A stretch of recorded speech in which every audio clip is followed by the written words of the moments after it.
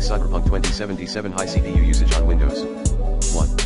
Close unnecessary background programs via WTM. 2. Turn off overlays. 2.1 Steam, 2.2 GOG Galaxy, PAT, library settings the features, coming soon, subsection.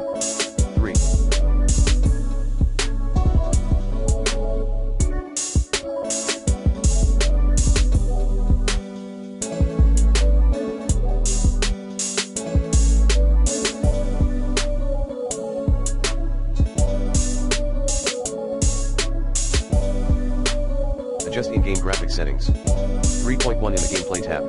Performance, set crowd density to low. 3.2.